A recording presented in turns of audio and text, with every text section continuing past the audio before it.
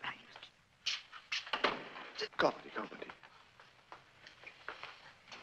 Eh, signora Albestad, lei lavorava per la signora Bertolt, vero? Eh, sì, signor giudice. Ha abitato qui molto tempo? La signora Bertolt? Oh, la signora Bertolt e la sua famiglia hanno vissuto qui per molte generazioni, signor giudice. Grazie. Signor giudice, era sceso a cercare qualcosa? Mm? Ah, già.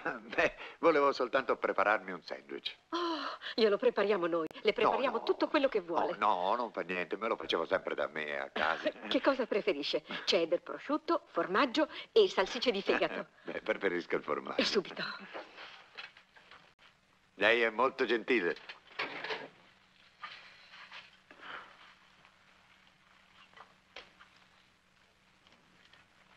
Signor Albestrat, com'era la vita sotto il nazionalsocialismo? Com'era la vita? Sì, insomma, eh, giorno per giorno. Sapete, conosco molta gente come voi al mio paese. Voi siete brava gente, ne sono convinto. Come, come vi trovavate a vivere sotto Hitler? Eh, noi non facevamo politica. Il signor Albestad e io non facciamo politica. Ein Glas für die Milch, bitte. Ja, ja. Sì, lo so, ma dovevate pure vedere quello che succedeva intorno a voi. E ne succedevano di cose, signor Alberstadt. Eh, c'erano le adunate. Hitler e Goebbels venivano qui ogni anno. Cosa ne pensavate?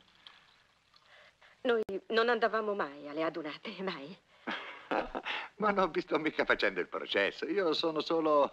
sono solo curioso, vorrei sapere. Ecco il suo sandwich. Grazie, Non c'è di che. grazie. Per esempio, c'era un posto che si chiamava Dachau, a non molti chilometri da qui. Avete mai saputo cosa succedeva là? Noi non ne sapevamo niente. Proprio niente.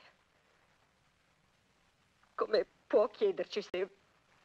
se noi ne sapevamo qualcosa? Scusate.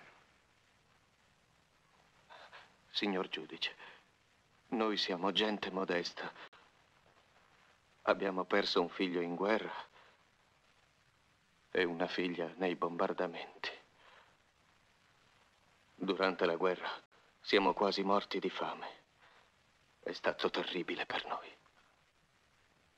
Lo credo bene. Hitler. Hitler ha fatto qualcosa di buono. Non dico che non abbia fatto qualcosa di buono. Ha fatto le autostrade. Ha dato lavoro a tanta gente. Noi non diciamo che non abbia fatto qualcosa di buono.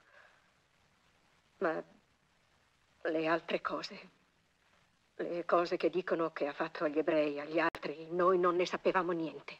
Pochissimi tedeschi lo sapevano. E, anche sapendolo, che potevamo fare? Ma la signora Albestat ha detto che non lo sapevate. E, e la signora Bertolt, come, come ha reagito a tutto questo? Ah, la signora Bertolt è una gran dama, signor giudice. Ne sono certo. E com'era il marito? Era nell'esercito. Che gli è successo? È stato uno, uno degli imputati nel caso Malmedi. Ah, il generale Bertolt. Karl Bertolt.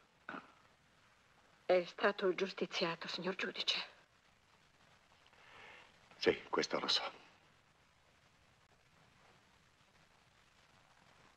Nel